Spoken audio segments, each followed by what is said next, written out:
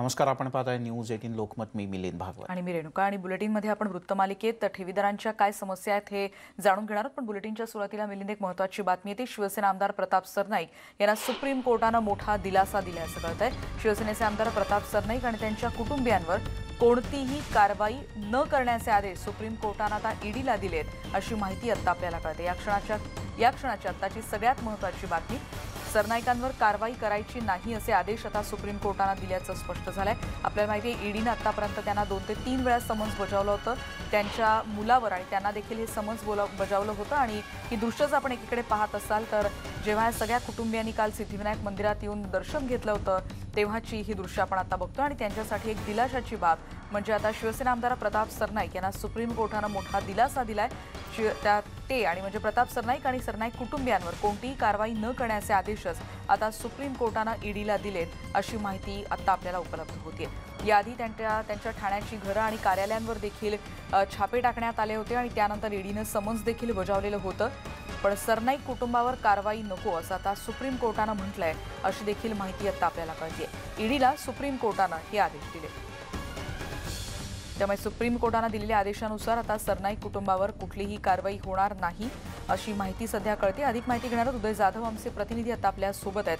उदय या क्षणाची महत्वाची बातमी अधिक अपडेट्स रेणुका जी आता ताजी माहिती मिळालेली आहे त्यानुसार सुप्रीम कोर्टाने शिवसेना आमदार प्रताप सरनाईक त्यांच्या कुटुंबियांना खूप मोठा दिलासा दिलेला आहे. सुप्रीम कोर्टाची ऑर्डर जी आहे ती देखील आता हाती आलेली आहे. त्यामध्ये स्पष्टपणे म्हटलेलं आहे की प्रताप सरनाईक आणि त्यांच्या कुटुंबियांवरती ईडीने कोणतीही कारवाई करू नये असं स्पष्ट म्हटलेलं आहे. त्यामुळे एकूणच जो ईडीचा ससेमिरा प्रताप सरनाईक ज्या कुटुंबियांच्या मागे लागला होता तो आता कुठेतरी थांबलेला आहे. सुप्रीम कोर्टाकडनं प्रताप सरनाईक यांना खूप मोठा दिलासा मिळेल मिळालेला आहे. गेले काही दिवस प्रताप सरनाईक हे सर्वांच्या संपर्काच्या बाहेर होते. त्यामुळे नेमके ते कुठे होते काय करत होते तर त्यांचं आता जे स्पष्ट झालेलं आहे त्यांचे वकील आणि ते सतत सुप्रीम कोर्टामध्ये धाव घेत होते तिकडे पाठपुरवठा करत होते दाद मागत होते. अखेर त्यांना न्याय मिळालाय असं त्यांच्याकडनं सांगण्यात आलेलं आहे. आणि त्यानुसार त्यांना आता सुप्रीम कोर्टाने उदय हा जो दिलासा दिलेला आहे सर्वोच्च न्यायालयानं तो काय मुद्द्यांवर दिलासा दिलाय? साधारण आपण बघितलं की ईडीने जे आरोप ठेवले होते यांच्यावरती जे समन्स बसवले बजावले होते ते टॉप सिक्युरिटीमध्ये मोठ्या प्रमाणात मनी लॉन्ड्रिंग करण्यात आलं होतं. आणि हे मनी लॉन्ड्रिंग प्रताप सरनाईक यांचे बालमित्र आणि त्यांचे उद्योगातील भागीदार मनोज चंडेलिया यांच्या मार्फत करण्यात आलं होतं. चंडेलिया यांच्या खात्यामार्फत प्रताप सरनाईक यांच्या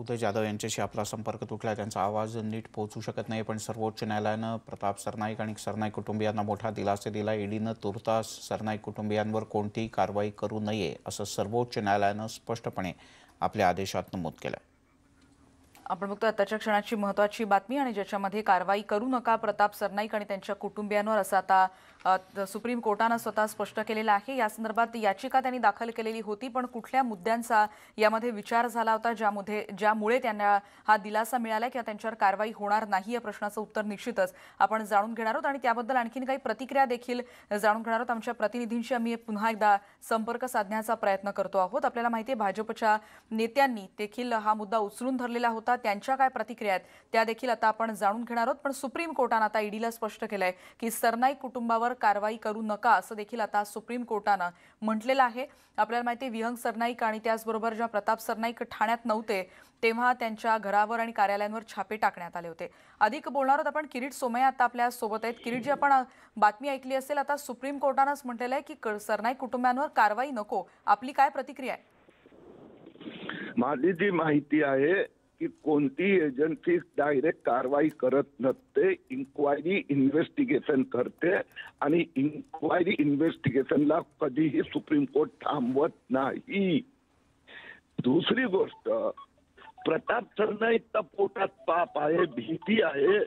त्यांना असं वाटतंय की त्यांना जेलमध्ये जावं लागणार. म्हणून ते इथून तिथून फिरतात आणि रोज भाषण करतात. घरच्यांनी चोरी केली नाही लबाडी नाही केली आहे ते ईडी ती जी चौकशी चालली आहे त्याच्या सामोरे का जात नाही? हे ते चौकशीचे आदेश किरीट सोमयानी दिलेले नाही आहेत.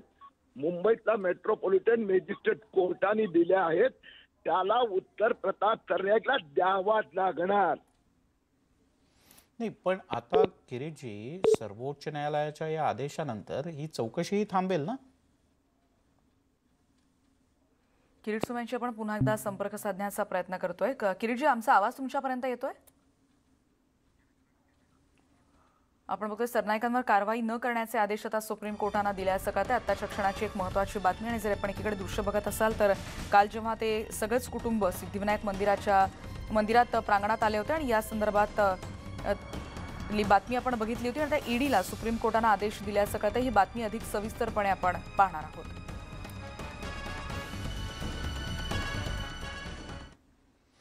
आणि आता न्यूज एटीन लोकमतची मोहीम ठेवीदार राज्यातले हवाल दिले आहेत कारण कराड जनता सहकारी बँकेचा बँकिंग व्यवहार करण्याचा परवानाच रिझर्व्ह बँकेनं रद्द केला आहे या संदर्भातल्या बातम्या.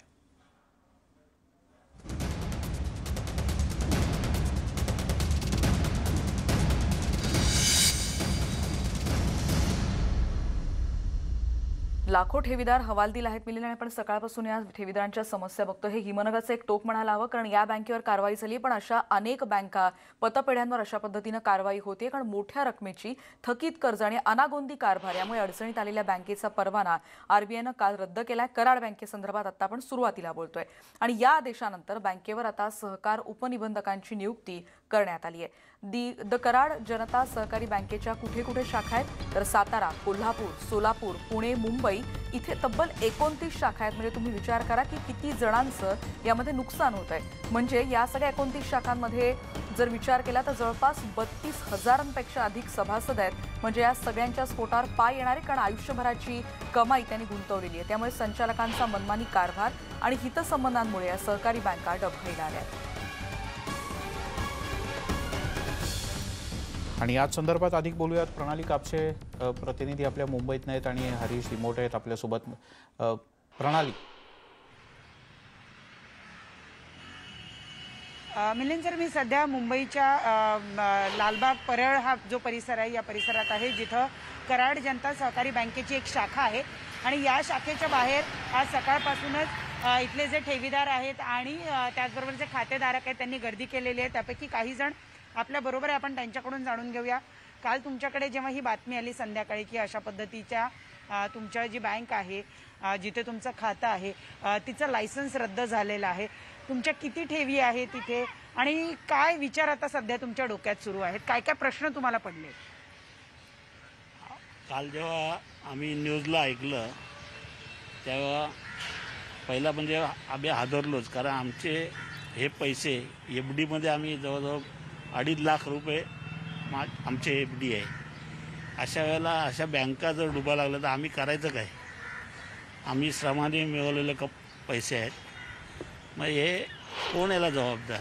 तुम्ही सिनियर सिटीजन आहात. एक महत्वाची रक्कम एक मोठी अमाऊंट तुम्ही ठेवलेली आहे. भीती वाटायला लागली आता? नेमकं काय होणार तेच ना. सर्व बँका आता मागे पेंट बँकेत ठेवले ते पण डुबले. आता ही बँक डुबली. करायचं काय? आणि हे जे भ्रष्टाचार करणारे किंवा फ्रॉड करणारे लोक आहेत. यांना कोणालाही सजा होत नाही. दुर्दैव हेच आहे ना. म्हणजे तुमचं म्हणणं आहे की ठेवीदारांची अडचण होते खातेधारकांची अडचण होते पण याचे जे कोणी संचालक असतात त्यांच्यावर कारवाई होत काहीच नाही कारवाई. तुम्ही दाखवा ना कोणत्या संचालकाला सजा झाली का आतापर्यंत. अनेक बँका आता नॅशनलाइज बँकामध्ये पण भीती वाटायला लागली पैसे ठेवायचे की नाही. कारण त्या नॅशनलाइज बँका पण आता डुबायला लागल्यात. नक्की. हे गृहनिर्माण सोसायटीचे अध्यक्ष आहे ज्यांच्या सोसायटीचे पैसे जे आहेत ते या बँकेमध्ये होते. आता काय काय प्रश्न पडलेले तुमची सोसायटी किती वर्ष या बँकेमध्ये तुम्ही पैसे ठेवता आमचे पाच सहा वर्षे झाले कराड जनता बँकेमध्ये आम्ही फिक्स डिपॉझिट असे तीस लाख आम्ही ठेवलेले आहेत. ते जेणेकरून सोसायटीची डागजुगी त्या खर्चात व्हावी या अर्थाने आम्ही ठेवलेले आहेत. पण आता काल जो बातम्या आल्या आहेत त्याच्यावर सोसायटीला टेन्शन आलेलं आहे. की हे आता पुढील आमची कामं होणार कशी? आणि सगळे आमचे पैसे मिळणार कधी? आणि सरकार तर सांगते की ही बँक डुबाली. मग ह्याचा आता हे पैसे परत करणार कोण आम्हाला? आणि जे संचालक मंडळ आहे ह्या लोकांना जाब त्याचा विचारला का नाही जात? बरं पण तुम्ही तुमच्या वतीनं प्रयत्न केलाय त्यांना जाब विचारण्याचा किंवा त्यांना तुम्ही हो आम्ही सकाळपासून दर हप्त्या पंधरा दिवसांनी आम्ही ते भेट देत असतो. पण हप्त्या पंधरा दिवसाने आम्ही या बँकेमध्ये भेटी देत असतो. पण ते गव्हर्नमेंट ठरवलं गव्हर्नमेंट ठरवलं. पण पैसे घेताना तेव्हा गव्हर्नमेंटचा काय हे बोलले नव्हते. एक विश्वासाने पैसे सोसायटीने ठेवली फिक्स डिपॉझिट तीस तीस लाख रुपये. पण त्याचा आता ते मिळणार कधी? हा आम्हाला प्रश्न पडला आणि सोसायटी आमची चालणार कशी? मॅडम तुम्ही तुमचे किती पैसे होते? तुम्ही दोघेही सिनियर सिटीजन आहात. सिनियर सिटीजन मी दर पंधरा दिवसाला महिन्याला येते. तर मला नेहमी सांगतात तुम्ही सहा महिन्याने या. सहा सहा महिन्याने सहा सहा महिन्याने पण येते. तर रिझर्व्ह बँक काय करेल तेव्हा आम्ही तुम्हाला पैसे देऊ. नक्की देणार असे बोलतात. आणि मी लोकांकडनं पैसे घेतले कारण माझे इथे पैसे होते. मी हे पैसे त्यांना देणार होती.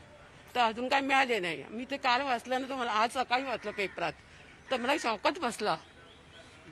मला सांगा की कधीपासनं हे असं सगळं चालढकलीचं वातावरण आहे? कधीपासून वर्ष झाली. सतरा तारीख पण बंद झाली वाटतं ही.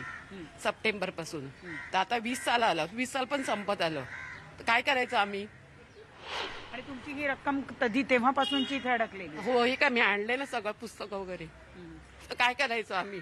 आज तुम्ही आलात तेव्हा तुम्हाला काय सांगितलं? कुठे मी बाहेरच तुम्ही आम्हाला आतमध्ये बोलल तुम्ही आतमध्ये बसलेलात ना. पण मी आतमध्ये आली नाही तुम्ही बाहेरच घेऊया मिटिंग पण बाहेर आली मी काहीच सांगितलं नाही. तुम्ही आतमध्ये बराच वेळ बो- ब- बोलत बसलेला होता त्यांच्या स्टाफ बरोबर. काय त्यांचं म्हणणं आहे? आता नेमकं काय होणार आहे? ते बोलतात की पाच लाखापर्यंत इन्शुरन्स आहे. तर ते तुम्हाला मिळतील. पण ते कधी मिळतील ते सांगू शकत नाही. ते बोलतात आमच्यात नोकऱ्या आता टर्मिनेट होणार आमची. त्यामुळे मी साहेब तुम्ही गेलं तर आम्ही विचारायचं कोणाला पाच लाखासाठी तर बोलतात काय माहिती आता काही क्लिअर नाही. तुमचं पण आहे तिथे? हो हे काय आहे. किती पैसे आहेत तुमचे? माझे पाच लाख पाच साडेपाच लाख आहे. आता मग आज आता इथे आल्यानंतर तुम्ही बोललात चर्चा केली काय काय स- होणार आहे? केलं नाही पण मला जे आमच्या मेन शाखेचा मला फोन केला तर ते म्हणले की दोन तीन दोन महिने तर लागणार कमीत कमी. तर त्यांना तुम्हाला ते प्रोसिजर करावं लागणार ते दहा रुपयाचे ह्याच्यात तिकीट लावून हे ते अर्ज करावं लागणार आणि सर्टिफिकेट जोडावं लागणार. म्हणजे तुमचेच पैसे काढायला तुम्हाला एवढा त्रास? आणि त्रास तर या बँकेचं ॲक्च्युली मी तर पंचवीस ते तीस वर्षापासून सभासद आहे पण काय पैसे अडकल्यानंतर काय करणार? तेहतीस वर्ष झाले ते या बँकेचे सभासद आहेत आणि आता त्यांना सांगण्यात येत आहे की आणखी दोन महिने लागतील आणि त्यानंतरही त्यांना अ, म, चालढकलीची उत्तरं दिले जातात. नेमकं काय होणार आहे हे त्यांना माहिती नाही आहे. त्यामुळे एक भीतीचं वातावरण या सगळ्यांमध्ये पसरलेलं आहे. कराड जनता सहकारी बँकेमध्ये थ्री इयर्स बॅक मी डिपॉझिट केलं. That is from my provident fund म्हणजे भविष्य निर्वाह निधीचे आणले. Because he was giving nine eleven ten two eleven percent ते मी दिले ते. आणि कोणी माणूस लालचे बँकेत एवढं काय लालचे म्हणजे म्हणता येत नाही. मग मारवाड्याकडनं दिले सोनं दिलं तर ओके. पण आम्ही इथे ठेवले. आणि का ठेवले तेही सांगतो तुम्हाला. इथे इलेक्ट्रिकची बिलं घ्यायची. बरोबर आहे का? हो तेव्हा सांगा नाही तर नाही सांगा. इले- इलेक्ट्रिकचे बिल घ्यायचे. आम्ही आकाशने झालं त्याला जरा दिसते वारी बँक दिसते. पहिली ही बँक इथे नव्हती आणि आम्ही इथे परत इथेच राहतो आम्ही तुमचे तिकडे किती पैसे अडकले? माझे तीन लाख. आपण बघतो की यांचे सुद्धा तीन लाख अडकलेले अगदी आहेत. खरं आहे प्रणाली आणि- हो. लागले तसं तसं इथे जे ठेवीधारक आहेत आणि खातेधारक आहेत ते येऊ लागले अगदी खरं प्रणाली आणि यामध्ये मिलिंद आपण बघतोय की इतक्या वर्षांची कमाई आहे आणि त्याच्यानंतर म्हणजे ती साठवणूक त्याच्यासाठीचा तगादा वेगळा की पुन्हा आपलेच पैसे परत मिळवायचे आणि या सगळ्यामुळे येणारा मानसिक ताण वेगळा पण आणखीन या संदर्भातली एक महत्वाची बातमी देखील यानंतर आपण बघतोय आणि ती बातमी अशी आहे की भाई हिराचंद रायसोनी पतसंस्थेतला घोटाळा काही दिवसांपूर्वी उघडकीस आला होता आणि या आरोपींच्याकडे गॅझेटेड अधिकाऱ्यांचे शंभरपेक्षा जास्त बनावट शिक्के सापडलेत. ही आहे या क्षणाची सगळ्यात मोठी बातमी. खानदेशातली मोठी बँक या बँकेवरनं भाजप आणि सत्ताधाऱ्यांमध्ये आरोप प्रत्यारोपाचं राजकारण सुद्धा काही दिवसांपूर्वी सुरू झालं होतं. पण आता आणखीन धक्कादायक बातमी समोर येते. ती म्हणजे सुनील झवर जे आहेत जे या बँकेचे प्रमुख आहेत त्यांच्याकडे बनावट शिक्क्यांचा साठाच सापडलाय. आतापर्यंत या प्रकरणी नऊ दिवसांची पोलीस कोठडी आरोपींना झालेली आहे पण आता आणखीन यातले काय अपडेट्स मिळत आहेत जाणून घेऊयात. आमचे प्रतिनिधी प्रफुल्ल साळुंखे आता आपल्यासोबत आहेत. प्रफुल्ल आपल्याला माहिती आहे प्रकरणाची व्याप्ती खूपच मोठी आहे. आत्ताच्या क्षणाचे काय अपडेट मिळत आहेत की किती प्रमाणात हे बनावट शिक्के त्यांच्या घरी सापडले याचं कळत आहे म्हणजे ही सर्वात मोठी राज्यातली मल्टी स्टेट बँक आहे. कारण सात राज्यांमध्ये या बँकेचा विस्तार आहे. जवळपास बँकेचा दोनशे चौसष्ट शाखा कारण महाराष्ट्रामध्ये एवढ्या शाखा असलेली ही एकमेव बँक आहे. असं असताना या बँकेमध्ये खूप मोठा भ्रष्टाचार झालाय. पहिले म्हणजे या भ्रष्टाचाराचे दोन टप्पे. सर्वात मोठा भ्रष्टाचार जो झाला की या बँकेत अनेक म्हणजे जवळपास तीन लाख ठेवीदारांनी आपल्या ठेवी ठेवल्या. आणि या ठेवी ज्या आहेत त्या वेगवेगळ्या लोकांना या ठेवीमधून कर्ज देण्यात आले. की कर्ज वसूल झाल्याने आणि बँक बुडाली. त्यामुळे हे संपूर्ण संचालक गेले तीन ते चार वर्षापासून कारागृहामध्ये आहे आणि अजूनही त्यांना बाहेर काढण्यात आलेलं नाही. आणि दुसरा सर्वात मोठा घोटाळा जो आहे तो आता बाहेर आलाय. तो जवळपास दीड हजार रुपयांपर्यंतचा आहे. यामध्ये ज्या ठेवीदारांच्या ठेवींमधून बँक कर्ज दिले होते त्या बँकेने अनेकांचे जमीन तारण ठेवल्या होत्या. त्या तारण केलेल्या जमिनींचा अक्षरशः मातीमोल भाला भावामध्ये लिलाव करण्यात आला. म्हणजेच हजार रुपयाची जमीन असेल तीनशे रुपयामध्ये विक्रीस काढण्यात आली दोनशे रुपयात विक्रीस काढण्यात आली. आणि त्या जमिनी ज्या आहेत त्या मोठमोठ्या लोकांनी या ठिकाणी कमी किमतीत घेतलेला आहे तो घोटाळा आता बाहेर आलाय. या घोटाळ्यामध्ये सुनील जवळ आणि जे आता प्रशासक या ठिकाणी नेमण्यात आले होते सुनील कंडारे. यांनी या जमिनी कवडीमोल भावात विकल्या आणि घेतल्या. अशा दोन पद्धतीने हा संपूर्ण घोटाळा करण्यात आलेला आहे. ते अजूनही दोन्ही आरोपी जे आहेत ते फरार आहेत. आणि ज्या पाच जणांना या ठिकाणी ताब्यात घेतलं होतं त्यांना आधी पंधरा दिवसांची पोलीस कोठडी दिली. आता न्यायालयीन कोठडी देण्यात आलेली आहे. ते दोन मुख्य आरोपी जे आहेत ते अजूनही फरार आहेत. सुनील जवळ जे आहेत त्यांच्याकडे जवळपास शंभर अधिकाऱ्यांचे बनावट शिक्के सापडले आहेत. त्यामध्ये कलेक्टर मग विजय पाटील आहेत. आपल्यासोबत वकील विजयजी तुमच्याकडे काय माहिती आहे या संदर्भात आणखी? बीएचआर पतसंस्थेचा जो घोटाळा झालेला आहे ठेवीदारांच्या ठेवी मूळ संचालक मंडळ जे आहे ते अपहारामुळे साडेपाच गेल्या साडेपाच वर्षापासून जेलमध्ये संचालक मंडळ जेलमध्ये गेल्यानंतर भाजपचे जे माजी मंत्री आहे गिरीश महाजन यांच्या सहकार्याने कंडारे जितेंद्र कंडारे नावाचा अवसायक ए आर ग्रेडचा अधिकारी त्या संस्थेवर नेमण्यात आला. त्या संस्थेच्या मालमत्ता विक्री करताना अवसायकाने ज्या कर्जदारांच्या मालमत्ता होत्या त्या हो. विक्री करताना गिरीश महाजनांचा राईट हँड असलेला सुनील जवळ याला त्या पा- हाताशी धरून त्यानेच त्या मालमत्ता बऱ्याचशा खरेदी केलेल्या आहे सुनील जवळने कंडारे नावाचे अवसायक त्या पतसंस्थेवर होते. त्या अवसायकांची इतकी पॉवर होती की त्यांना गेल्या सहा वर्षात कोणीच आठवू शकलं नाही. आणि दुसरं असं की त्या अवसायकांची मुदत संपली तरी ते कार्यरत होते गेल्या दोन वर्षापासून. बर. हा पंधराशे कोटी रुपयाचा जो घोटाळा आहे याच्यातला बहुतेक ज्या जमिनी आहे पुण्यातल्या इतर ठिकाणच्या त्या सुनील जवळने विकत घेतलेल्या आहे. सुनील जवळकडे बोगस आणि बनावट शिक्के सापडले. राजपत्रित अधिकाऱ्यांचे. त्या शिक्क्यांचा त्यांनी कुठे कुठे वापर केलेला असेल हे तोच सांगू शकतो परंतु तो गुन्हा दाखल झाल्यापासून फरार आहे. कंडारे देखील फरार आहे आवसाहेब जे कंडारे येते आणि हा सगळा इतका मोठा घोटाळा आहे. याच्यात राज्यातले बरेच बडे बडे नेते बडे बडे उद्योजक हे अडचणीत येतील किंवा आरोपी होतील अशी परिस्थिती आहे. विजय पाटील कायदेतज्ञ आणि वकील आपल्याला माहिती देत होते. विजयजी तुर्तास धन्यवाद. या सगळ्या सविस्तर माहितीबद्दल प्रफुल्ल साळुंके आपल्याला आपले प्रतिनिधी माहिती देत होते. प्रफुल्ल तुर्तास धन्यवाद या माहितीबद्दल. आणि यानंतर आपण जातोय हरीश दिमोटे. आता आपल्यासोबत आहेत आमचे प्रतिनिधी. हरीश आपण काही ठिकाणच्या प्रतिक्रिया ऐकल्या. राहता आणि त्या भागात काय काय प्रतिक्रिया मिळत आहेत किती मोठ्या प्रमाणात इथल्या देखील ठेवीदारांचे हाल होत आहेत हे देखील सविस्तर सांगाल. नक्कीच रेणुका कराड बँकेच्या निमित्ताने हा प्रश्न जो आहे तो समोर आलेला आहे. आणि अहमदनगर जिल्ह्यातल्या कोपरगाव येथील सातभाई मर्चंट बँके बँकेमध्ये अनेकांनी आपल्या ठेवी ठेवलेल्या होत्या. त्यामध्ये पतसंस्था देखील आहेत सामान्य जे ठेवीदार आहेत हे देखील आहेत. त्यामुळं अनेक वर्षापासून या लोकांचा संघर्ष सुरू आहे. जवळपास तेरा वर्ष झालेत. या पतसंस्था आपले पैसे मिळवण्यासाठी प्रयत्न करत आहेत ठेवीदार पैसे मिळवण्यासाठी प्रयत्न करत आहेत मात्र त्यांना आजपर्यंत ते पैसे मिळालेले आहे माझ्यासोबत आता काही पतसंस्था चालक आहेत पतसंस्थेचे कर्मचारी आहेत काही ठेवीदार आहेत आपण यांच्याशी बोलूया. काय सांगाल? किती वर्ष झाले तुमचा हा सगळा संघर्ष सुरू आहे? तुम्ही पतसंस्था चालवता सामान्य लोकांचे पैसे सगळे तिथे असतात आणि तुम्ही ते पैसे या मर्चंट बँकेत ठेवलेले होते. का मिळत नाहीये? किती वर्षापासून संघर्ष सुरू आहे? सुमारे तेरा वर्षापासून आमच्या पस्तीस पतसंस्थाचे साडे नऊ कोटी रुपये त्या सातभाई मर्चंट बँकेमध्ये अडकलेले. आम्ही रास्ता रोको केला उपोषणं केले निवेदनं दिले सरकारला भेटलो अनेक सरकारं आली त्याच्यानंतर सगळ्यांना भेटलो. परंतु याबाबत ठेवीदारांचे पैसे मिळण्याबाबत कुणीही सकारात्मक अशी काही मदत आम्हाला केलेली नाही. आणि हे जे पैसे अडकलेले हे आमच्याकडे ज्यांनी छोट्या छोट्या ठेवी ठेवल्या म्हणून आम्ही त्या मोठ्या ठेवी त्या बँकेत ठेवल्या. त्यावेळेस ती अवर्ग बँक होती. म्हणून आम्हाला तिथं पैसे ठेवायची परवानगी मिळालेली होती. परंतु ते ती बँक त्यांच्या चुकीच्या कर्ज वाटपाच्या धोरणामुळे ती बुडाली. वास्तविक पाहता त्या संचालक मंडळावर कारवाई व्हायला पाहिजे. जी बँक अवसाण्यात जाती त्या बँकेचं संचालक मंडळ याला ताबडतोब अटक झाली पाहिजे. कारण संचालक मंडळाला अटक झाली पाहिजे असं वाटतंय. तुमचे देखील पतसंस्थेचे कोट्यवधी रुपये आहेत. हे सगळी बँक बुडण्याला हे सगळे संचालक मंडळ आणि अध्यक्ष जबाबदार आहेत? हो या बँका ज्या बुड बुडाल्यात. किंवा आपण कोपरगाव मर्चंट बँकेसंदर्भात जे बोलत आहोत त्याला संचालक मंडळच जबाबदार आहे. कारण त्यांनी जे चुकीचं धोरण कर्ज वाटपाच्या बाबतीत अवलंबलं त्याच्यामुळे ही परिस्थिती आता सर्वसामान्य ठेवीदारांवर आणि पतसंस्थांसारख्या ठेवीदारांवर ओढवलेली आहे. चुकीच्या कर्ज वाटपामुळे झालंय. मात्र आता तुमच्याकडे जे ठेवीदार आहेत पतसंस्थेमध्ये छोटे छोटे लोक सगळे हातावर काम करणारे पैसे ठेवत असतात.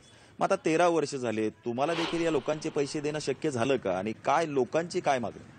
आमच्या पतसंस्थेचे पैसे सुमारे पासष्ट लाख रुपये कोपरगाव मर्चंट बँकेत एकोणीसशे पंच्याण्णव सालापासून ते दोन हजार सातला ही मर्चंट बँक अवसायनात गेल्यामुळं आमची बँक बंद पडली होती.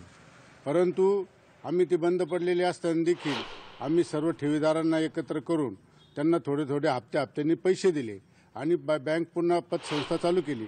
त्याच धर्तीवर कोपरगाव मर्चंट बँक देखील चालू होऊ शकते. परंतु सत्ताधारी जी मंडळी आहेत त्यांनी ही जाणीवपूर्वक ही बँक बुडवली आणि इन्शुरन्स कंपनी आपले पैसे पेड करणारे या भ्रामक कल्पनेमध्ये ही कंपनी राहिली. त्याच्यामुळं मर्चंट बँक बुडाली. याच बँकेबरोबर नगर जिल्ह्यामध्ये आणखी देखील अशा काही बँका असतील पतसंस्था असतील ज्या अवसायनात निघाल्या अशा किती बँका नगर जिल्ह्यात असतील? श्रीरामपूरची पीपल्स कोऑपरेटिव्ह बँक ही सुद्धा अवसानात निघाली होती. परंतु ती त्यानंतर ती नाशिक मर्चंट बँकेमध्ये विलिनीकरण झाली. त्याचप्रमाणे नगरला देखील प रावसाहेब पटवर्धन पतसंस्था अशीच अडचणीत आली होती. त्याचे देखील ठेवीदारांचे असेच प्रश्न या ठिकाणी निर्माण झालेले. आहे आणि गावोगावी या अनेक पतसंस्था आता तुम्हाला सांगायचं ठरलं तर कोपरगाव राहता आणि संगमनेर तालुक्यातील पस्तीस पतसंस्था या ठिकाणी कोपरगाव मर्चंट बँकेत अडकल्या. यामुळं हजारो ठेवीदारांचे प्रश्न निर्माण झाले. शेकडो जे दैनिक मंगळठेव प्रतिनिधी असतील कर्मचारी असतील यांचा देखील प्रश्न गंभीर झालेला आहे. काही लोकांनी आत्महत्या देखील केलेल्या आहेत परंतु त्या समोर आलेले नाही. लोकांचे आरोग्याचे प्रश्न असतील लोकांच्या लग्न कार्यासाठी पैसे ठेवले आहेत. आणि यामध्ये जो ठेवीदार ठेवलेला होता एकदम सामान्य ठेवीदार होता. नक्की सामान्य ठेवीदारांचे पैसे अडकलेले आहेत. रेणुका आपण जर बघितलं तर गेल्या तेरा वर्षापासून या लोकांचा संघर्ष सुरू आहे. केवळ सामान्य ठेवीदारच नाही तर पतसंस्था देखील मोठ्या प्रमाणात या नगर जिल्ह्यामध्ये अडचणीत आलेल्या आहेत. अनेक बँका असतील पतसंस्था असतील या यातील जे संचालक मंडळ आहेत अध्यक्ष आहेत हे संगनमताने ही जी अनियमित कर्ज वाट वाट- वाटतात आणि त्यामुळे या बँका पतसंस्था अडचणीत येतात आणि त्यामुळे सामान्य नागरिक असेल त्याचबरोबर हे पतसंस्था चालक असतील हे देखील अनेक वर्षापासून अडचणीत आलेले आहेत. धन्यवाद हरीश या सगळ्या सविस्तर माहितीबद्दल आपण बघतोय की कशा रीतीने या चालकांचे देखील काय म्हणणं आहे ते देखील आता आपण या राहता भागातल्या त्यांचं म्हणणं काय ते देखील यामध्ये जाणून घेतलं. यासोबतच बुलेटिनमध्ये घेऊयात एक छोटासा ब्रेक. थोड्याच वेळात पुन्हा भेटूयात. पाहत राहा न्यूज एटीन 18 लोकमत.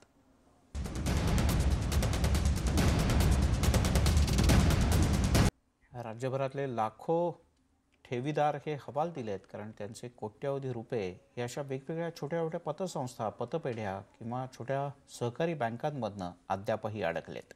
आणि या संदर्भात आपण अधिक म्हणणार आहोत. विजय देसाई आमचे प्रतिनिधी आता आपल्यासोबत आहेत. विजय सकाळी देखील एका पतसं एका बँकेशी संबंधित ग्राहकांचे कसे हाल होतात ते आपण ऐकलं होतं. आणखीन काय समस्या या ठेवीदारांना सध्या जाणवत आहेत त्यांना भेडसावत आहेत आणि आतापर्यंत त्यांनी कुठपर्यंत याबाबतचा लढा दिलेला आहे? रेणुका खरं सांगायचं तर वसतिगृहामधली जी ही पतसंस्था आहे शिवली पतसंस्था ही सर्वात मोठी शंभर कोटीची उलाढाल असणारी ही पतसंस्था आहे. या पतसंस्थेमध्ये दोन हजार सोळा साली हा घोटाळा झाला आणि विजय देसाई यांचा आवाज नीट पोहोचत नाही. आपण त्यांच्यापर्यंत पोहोचण्याचा प्रयत्न करूया. आपण विद्याधर अनास्कर आहेत आपल्यासोबत. महाराष्ट्र अर्बन कोऑपरेटिव्ह बँक फेडरेशनचे अध्यक्ष आहेत. अनास्कर सर स्वागत आहे आपलं न्यूज एटीन लोकमतमध्ये. इतके वर्ष तुम्ही या क्षेत्रात काम करताय. मगाशी विश्वास उडकी सर पण आपल्यासोबत काही काळ होते आणि जेव्हा कायद्याचा विषय आला आणि या सगळ्या फॉर्मॅलिटीजचा म्हणजे कायद्याच्या चौकटीतनं ही सगळी प्रक्रिया कशी चालते याचा विषय आला. मुळात हे म्हणजे सेबी करतं म्हणजे कोण करतं? आर बी आय करतं म्हणजे कोण करतं? किंवा राज्याचा पणन विभाग सहकार विभाग करतं म्हणजे कोण करतं? जर का वीस वीस पंचवीस पंचवीस लाख लोकांचे अडकलेले असूनही दहा दहा पंधरा पंधरा वर्ष त्यांना ते पैसे मिळत नाहीत तर यावर कायद्यांमध्ये तातडीनं बदल का नाही केले जात? काय अडचण असू शकते त्यात?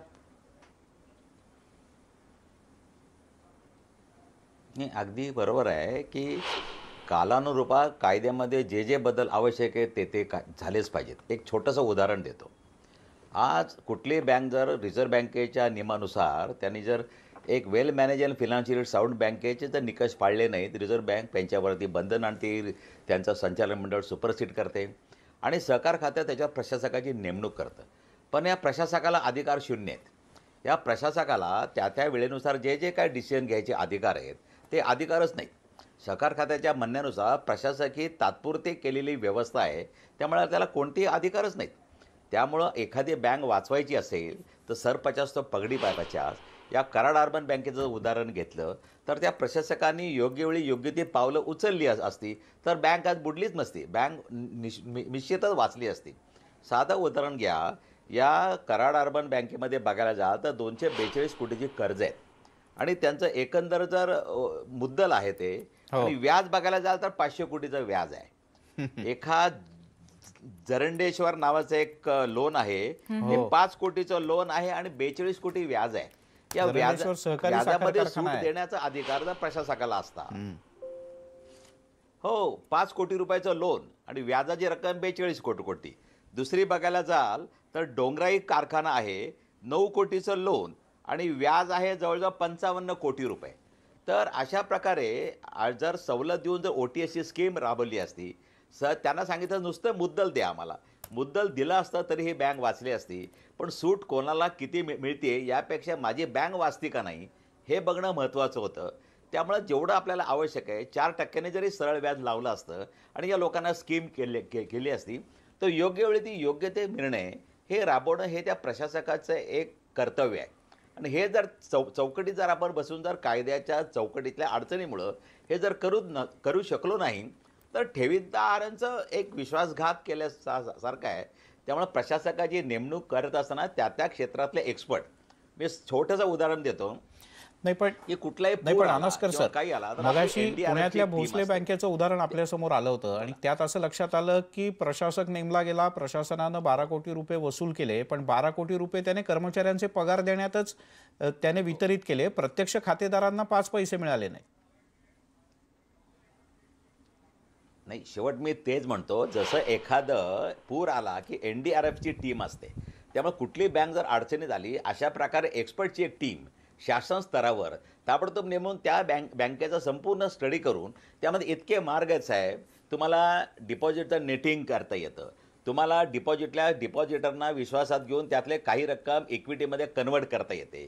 तुम्हाला लाँग टर्म डिपॉझिट घेता येतं. तुम्हाला इनिव्हेटिव्ह परफ्युअल डेप्ट इन्स्ट्रुमेंट नावाचं रिझर्व्ह बँकेचं एक इन्स्ट्रुमेंट आहे.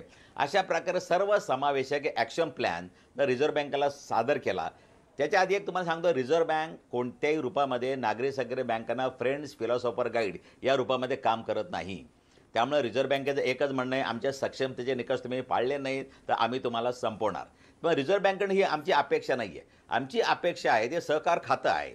ज्यामध्ये सहकार स्वतंत्र विभाग आहे आपल्याकडं. त्या त्यांनी अशा प्रकारे प्रयत्न करून अडचणीतल्या बँकांना योग्य प्रकारे मार्गदर्शन करण्यासाठी एक एक एक्सपर्टची टीम केली. कारण का शासन स्तरावरती जे कोण ॲडमिनिस्ट्रेटर अस अस- असतात त्या फील्डमध्ये एक्सपर्ट असतीलच असं नाही. तुम्हाला त्यांचं नसतं शासकीयनुसार त्यांना काय सूट देता नाही येत हे करता येत नाही. आता इथं बघायला जा तर या बँकेने जर ओ टी एसची स्कीम आखली असती आणि हो. सर्व लोकांना सांगितलं तुम्हाला चार टक्के सरळ व्याज. आणि चार टक्के व्याजाने सगळ्या लोकांनी पै पैसे त्यांना हप्ते बांधून दि- दिले असते. दोन वर्षे मुदत दि दिली दिली असती. दोन हजार सतराला या बँकेवरती पहिल्यांदा मॉनिटरी रिस्ट्रिक्शन आले. दोन हो. हजार एक आता रिझर्व्ह बँकेची चूक अशी आहे मे दोन हजार एकोणीसला या बँकेला एक शोका झाली की तुमचं लायसन्स लाय र- रद्द का करू नये? बँकेने एका महिन्यामध्ये त्याला उत्तर दिलं. त्याच्यानंतर रिझर्व्ह बँकेने वेळोवेळी त्यांना मुदतवाढ देत गेले. परंतु याकरता निर्णय प्रक्रियेमध्ये रिझर्व्ह बँकेच्या पातळीवर टॅपकप नावाची एक कमिटी आहे. त्याचा मी स्वतः सदस्य आहे. या टॅपकपसमोर विषय आण- आण- आणणं आवश्यक होतं. परंतु नवीन कायद्यानुसार त्यांनी काय केलं? टॅपकप बिपकअपला आम्ही मा- मानत नाही. अचानक सडनली लायसन्स रद्द कर- करणं हे पण चूकच आहे. सर पण या सगळ्यामध्ये तुम्ही जे सगळे टप्पे सांगतायत आणि जे तुम्ही पर्याय सांगतायत किंवा जशा पद्धतीनं तुम्ही म्हणताय की हे करता का येऊ शकलं असतं. तुम्हाला असं वाटतं की म्हणजे जेव्हा ही कारवाई इतक्या मोठ्या प्रमाणात होते एखाद्याचा एखाद्या बँकेचा परवाना रद्द करण्याच्या आधी या सगळ्या पर्यायांचा पुन्हा विचार केला जाऊ शकतो का? आणि आता ठेवीदारांच्या सुरक्षेसाठी किंवा त्यांना पुन्हा पैसे मिळण्याच्या दृष्टीने अजूनही यातल्या काही पर्यायांचा विचार होऊ शकतो पुन्हा एकदा? शंभर टक्के. लायसन्स रद्द झालं याचा अर्थ त्या बँकेचं मर्जिंग होऊ शकत नाही असं नाही. लायसन रिस्टोर होऊ शकत नाही असं पण नाही. महाराष्ट्रामध्ये उदाहरण आहे. साताऱ्याची एक बँक आहे जिजामाता महिला सह- सहकारी. रिझर्व्ह बँकेच्या इतिहासात त्यांनी त्याचं बँके बँकिंग लायसन्स रद्द केलं होतं. सेंट्रल केंद्रीय स्तरावर ते अपील करून ते लायसन्स आज इतिहासात पहिल्यांदा रिस्टोअर झालं. ती बँक परत सुरू झाली. तुम्ही अशा प्रकारे तुम्ही जर एक विजन प्लॅन जर एक कॉन्क्रीट प्लॅन जर सादर के के- केला तर शंभर टक्के त्याचा विचार होऊ शकतो. आणि ही बँक परत सुरू होऊ शक शकते मर्ज होऊ शकते किंवा कुठे लायसन्स रद्द केलं याचा तर सगळे पर्याय खुंटले असा याचा अर्थ होत नाही. हे हे आशा म्हणून राज्य बँकेवरही काम केलंय. अन्य बँकांचा तुमचा मोठा अनुभव आहे त्यामुळे तुम्हाला मोठ्या अपेक्षा आहेत किंवा होप्स आहेत सामान्यांच्या भाषेत सांगायचं तर. पण सामान्यांना मात्र फार होप्स नाहीत कारण हे एक उदाहरण नाही ना? म्हणजे कराडचं हे एक उदाहरण नाही. याच्या आधी झालेली अनेक उदाहरणं म्हणजे फार जुन्या याच्यात जायचं तर दुसरं सिक्युरिटी. बँकेपासूनचे लोक अजूनही रडतातच आहेत पैसे मिळत नाहीत म्हणून. मी मी तुमच्याकडे येतो परत. विषय असा आहे आता की याला परत वेळेचं बंधन घातलं पाहिजे का? आणि राज्याच्या सहकार खात्याची याच्यातली भूमिका काय? प्रशांत बाग आपले प्रतिनिधी आपल्यासोबत आहेत नाशिकहून. प्रशांत तुझ्याकडेची काय स्थिती आहे?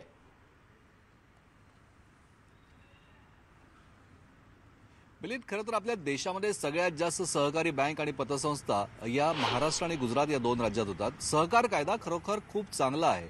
पण या सहकार कायद्याची अंमलबजावणी करणारी सरकारी यंत्रणा ही अत्यंत बोगस आहे अशा प्रकारचा निष्कर्ष नक्कीच निघतो. नाशिक जिल्ह्यात सुद्धा दोन बँका या पूर्णपणे अवसायनात गेल्या होत्या. प्रचंड मोठ्या पतसंस्था किंवा प्रचंड ठेवीदारांचा घोटाळा केला आणि याच ठिकाणी शामराव विठ्ठल बँक आणि सारस्वत बँकेने या बँका टेकओव्हर केल्या. मग ती सप्तशृंगी बँक असो की नाशिक पीपल्स बँक असो. यामुळे ठेवीदारांना काही प्रमाणात दिलासा मिळाला. डॉक्टर डी एल कराड आपल्याबरोबर आहेत. खऱ्या अर्थानं तुम्ही हा लढा उभा केला आणि खऱ्या अर्थानं ठेवीदारांना दिलासा मिळाला. रिझर्व्ह बँकेने सुद्धा तुमची भूमिका मान्य केली आणि हे तुमचं खरं तर मोठं यश म्हणावं लागेल. पण नेमकं केंद्र सरकार परवानगी देतं आणि राज्य सरकार याच्याकडे दुर्लक्ष करतं. नेमका घोळ कसा होतो सहकार खात्याकडनं? मुख्यतः आपण जसं म्हणालात तसं की महाराष्ट्राचा सहकार कायदा हा अत्यंत आदर्श असा कायदा आहे. परंतु सुरुवातीच्या काळामध्ये सहकार क्षेत्राकडे अत्यंत आत्मीयतेनं पाहिलं बांधिलकी असलेले लोक तिथे होते अत्यंत स्वच्छ प्रतिमा असलेले लोक ते काम करत होते. त्याच्यानंतर महाराष्ट्रामध्ये सहकाराची फार मोठी ताकद निर्माण झाली. नंतरच्या काळामध्ये राज्य सरकार आणि हितसंबंधी लोकांनी ह्या संबंध सहकार चळवळीचं वाटोळ केलेलं आपल्याला दिसतं. सहकारी साखर कारखाने कोऑपरेटिव्ह बँका सहकारी पतसंस्था हे खरं म्हणजे सामान्य माणसाचे शेतकऱ्यांचे आणि मध्यमवर्गीयाचा आधार आहे ज्यांना कोणालाही पत नव्हती अशा माणसाला पत देण्याचं काम ह्या चळवळीतनं झालेलं आहे. परंतु मागच्या वीस पंचवीस वर्षामध्ये आपण पाहिलं की सहकारी संस्थांचे चेअरमन संचालक मंडळ आणि त्या त्या भागातले बडे बडे लोक कर्जदार यांनी ह्या पतसंस्था आणि बँका बुडवलेल्या आपल्याला दिसतात. खरं तर सरकारच्या माध्यमातून यांचं ऑडिट केलं होतं. आणखी पहिला घोटाळा हा तिथेच होतो कारण तो सरकारी कर्मचारी असतो ऑडिट करणारा. जो घोटाळ्यांना सुद्धा आश्रय देतो अभय देतो. अगदी खरी गोष्ट आहे की आपण संबंध चळवळीमध्ये काय लक्षात आलं? की प्रत्येक संस्थेमध्ये टॉप टेन कर्जदार असे आहेत. की ज्यांना कर्ज देताना संचालक मंडळाने त्यांची जबाबदारी पार पाडलेली नाही आहे त्यांच्याकडनं जी गॅरंटी घ्यायला पाहिजे ती घेतलेली नाही आहे त्यांची तपासणी केलेली नाही आहे डॉक्युमेंट पूर्ण केलेले नाही आहेत दुसरी जी गोष्ट आहे की हे सगळं राजकीय दबावाखाली होतं. आमच्या असं लक्षात आलं आहे की सहकार खात्यातले वरिष्ठ अधिकारी आणि सहकार खात्यातले मंत्री आणि राजकारणातले लोक ह्या संबंध गोष्टीमध्ये दबाव निर्माण करतात कर्ज वाटप करायला भाग पाडतात आणि त्याच्यातनं हे सगळे घोटाळे होतात. मुख्य जबाबदारी राज्य सरकारच्या सहकार खात्याची आहे. सहकार मंत्र्यांनी महाराष्ट्रातले ठेवीदार एवढे अडचणीत असताना त्याच्याकडे लक्ष देऊ नये ही अत्यंत दुर्दैवाची गोष्ट आहे. मी आपल्या माध्यमातून बाळासाहेब पाटलांना विनंती करेल की हा संबंध लाखोच्या संख्येनं असलेला ठेवीदार याचा जगणं मरण्याचा प्रश्न निर्माण झालेला आहे. आपण याच्यामध्ये लक्ष घाला आणि सहकार कायद्याची कडक अंमलबजावणी झाली पाहिजे. कडक अंमलबजावणी करायची म्हटली तर जो ऑडिट रिपोर्ट पहिला ऑडिटर देतो कोणत्या बँकेच्या पतसंस्थाचा सुरुवात तिथूनच झाली पाहिजे कारण पहिला घोटाळा तिथेच होतो. अगदी खरं आहे. की ह्या पतसंस्थांना वर्ग दिले जातात अवर्ग दिला जातो आणि नीट तपासणी केली जात नाही. हे काय आपोआप होत नाही. याच्यामध्ये फार मोठा भ्रष्टाचार झाला अस- झालेला असतो.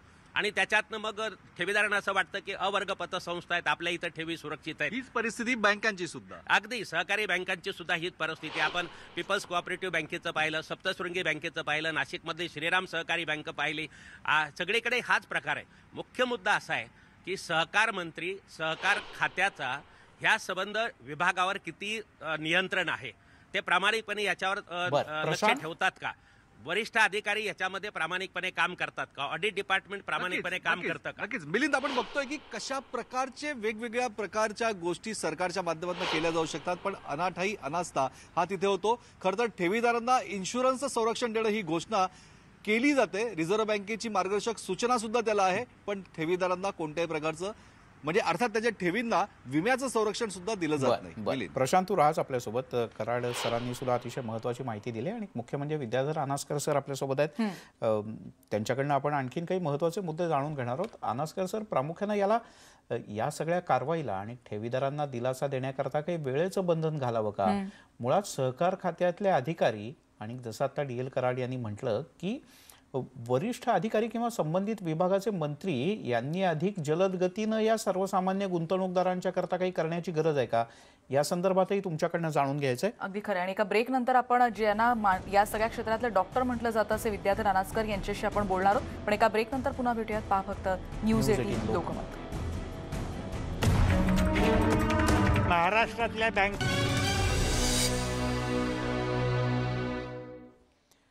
ब्रेकनंतर आपल्या सगळ्यांचं पुन्हा एकदा स्वागत.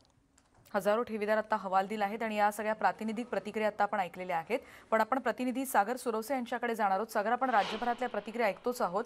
तुमच्या परिसरामध्ये म्हणजे त्या भागात किती मोठ्या प्रमाणात ठेवीदारांना अशा अनागोंदी कारभाराचा फटका बसलाय? अ, रेणुका आपण पाहतो की सोलापूर जिल्ह्यामध्ये खरं तर अनेक बँका आजपर्यंत ज्या आहेत त्या अशा दिवाळखोरीत निघून या ठिकाणी ठेवीदारांचं मोठ्या प्रमाणात नुकसान झालेलं आहे. मध्ये एक औद्योगिक बँक होती. खरं तर ही आशिया खंडातली एकमेव बँक होती जिला डीसीसी बँकेचा दर्जा होता. मात्र ती बँक सुद्धा या ठिकाणी दिवाळखोरीत निघालेली काही वर्षांपूर्वी पाहायला मिळते. अशा अनेक घटना ज्या आहेत ह्या सोलापूर जिल्ह्यामध्ये आपल्याला पाहायला मिळतात. आपल्यासोबत काही ठेवीदार आहेत ज्यांचे अशा पद्धतीचे नुकसान झालेले आहेत. मला सांगा काय नक्की तुमचं कशा पद्धतीनं तुमचं जी गुंतवणूक होती ती बुडालेली आहे? काय सांगाल?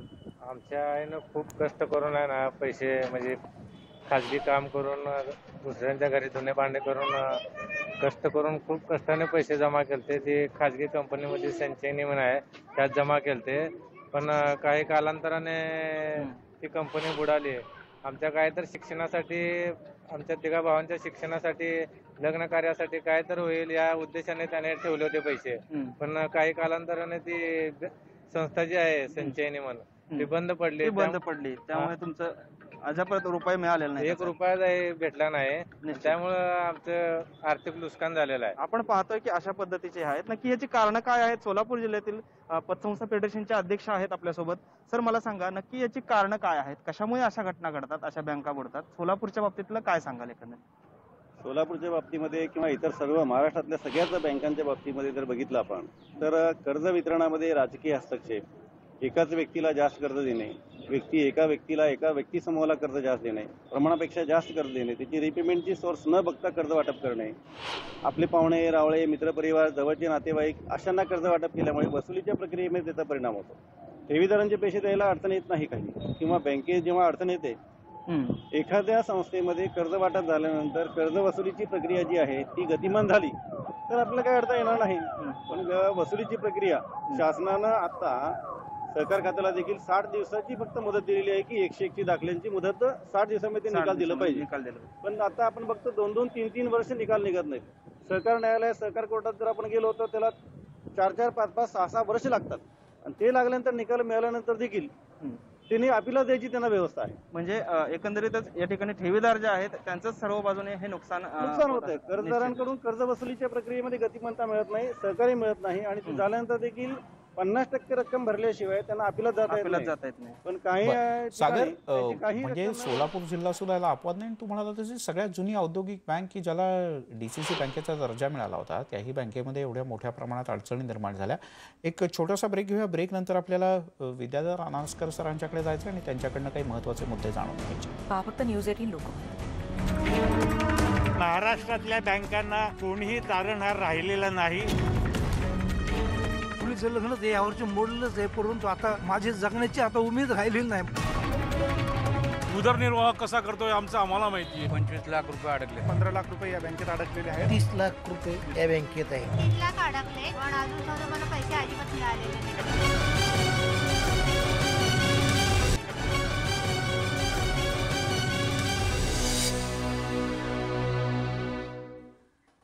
ब्रेकनंतर आपलं स्वागत. विद्याधर अनास्कर आहेत आपल्यासोबत. अनास्कर सर अ, ही सगळी प्रक्रिया तुमच्या हाताखालनं अनेकदा गेली आहे. तुम्ही या विषयातले तज्ज्ञ आहात. वेळोवेळी तुम्ही अनेक बँकांना अनेक संचालकांच्या कार्यक्रमांमधनं तुम्ही मार्गदर्शनही केलं आहे जेव्हा एखाद्या बँकेची अशी स्थिती होते आणि ती केस सहकार विभागाकडे किंवा रिझर्व्ह बँकेकडे जाते आजची सगळी परिस्थिती पाहता लोकांना त्यांचे पैसे मिळावेत याच्याकरता काही कालमर्यादा घातली पाहिजे. मग तुम्ही संचालकांच्या गोष्टी अवसानात काढा किंवा बँकेची प्रॉपर्टी असेल ती विका पण लोकांना त्यांचे पैसे मिळाले पाहिजेत. याला काही वेळेची मर्यादा घालू शकतो? नाही रिझर्व्ह बँकेच्या नियमानुसार त्या एखादी बँक लिक्विडेशनमध्ये आल्यानंतर सहा महिन्याच्या आतमध्ये त्यांना जो काय इन्शुरन्स कवर आहे पाच लाख रुपये तेवढे सहा महिन्याच्या आतमध्ये मिळायला पाहिजेत ही काल म- मर्यादा रिझर्व्ह बँकेच्या ॲक्टमध्ये आहे. परंतु मला एक छोटंसं या निमित्ताने असं सा सांगायचं आहे. कोणती बँक ज्यावेळी पत कोणती आर्थिक संस्था अड अडचणीत येते त्याचे जे सिम सिमटम्स आहेत ते जवळजवळ सहा सात वर्ष आधीपासून आपल्याला दिसायला लागतात. कोणती बँक मी अगदी जबाबदारीने बोलतो पाच सहा वर्ष आधी ते सिमटम दिसत असतात त्याच वेळेला त्याच्यावर योग्य ती उपाययोजना केली जात नाही. त्यामुळे शासन स्तरावर अस असू द्या किंवा त्या रिझर्व्ह बँक स्तरावर असू द्या. रिझर्व्ह बँकेकडनं ते अपेक्षा आहे पण ती पू- पूर्ण होत नाही. त्या बँकेला योग्य ती जर उपाययोजना केली तुम्ही सोलापूर जिल्ह्याचं उदाहरण घेतलं. सोलापूर म- मध्ये एक दिलीप अर्बन बँक होती. तिच्यावर हो. रिझर्व्ह बँकेने नियंत्रण आणल्याबरोबर तिच्यावर आम्ही एक्सपर्ट टीमनी चांगली उपाययोजना केली. ती बँक परत पूर्वस्थिती स्थितीला आली. कोल्हापूरमध्ये लक्ष्मी विष्णू बँक होती. तिच्यावर रिझर्व्ह बँकेने नियंत्रण आणल्याबरोबर ठेवीदारांना विश्वासात घेऊन योग योग्य त्या प्रकारे त्याची आखणी केली गेली. ती बँक परत पूर्वस्थितीला आली. बँकेला. पण योग्य प्रकारे योग्य नियोजन केलं. शक्यता होती पण आज लिक्विडेशन मंतरपंथी शक्यता आहे. मी तर अनेक वेळेला शासन स्तरावर असं सुचवलं की शा शासनाने कुठेतरी सगळ्या बँक बँकांच्या नफ्यातनं असा काहीतरी फंड घेऊन एक म्युच्युअल असिस्टंट फंड नावाचा फंड क्रिएट के केला पाहिजे. शासनाकडून ते पन्नास टक्के पैसे आले पाहिजेत. माझ्या सूचनेवर गुजरात राज्याने अशी सोय के केली. हे प्रत्येक बँकांच्या नफ्यातून एक पंधरा टक्क्याचा फंड हे म्युच्युअल असिस्टंट फंड म्हणून क्रिएट केला गेला. पन्नास टक्के तेवढीच रक्कम शासनाने त्यात कॉन्ट्रीब्यूट केली आणि अडचणीत असलेल्या बँकांना लिक्विडिटी प्रोव्हाइड करण्यासाठी एक वेगळा फंड तयार केला गेला. त्यामुळे अशा अनेक उपाय आपल्याला करता येतील की कोणती बँक कोणत्याही ठेवीदाराची रक्कम बुडणार नाही अशा प्रकारची यंत्रणा शासन स्तरावर निर्माण करणं सहज शक्य आहे. परंतु अशा प्रकारे कुठलेही प्रयत्न आजपर्यंत झालेले नाहीत.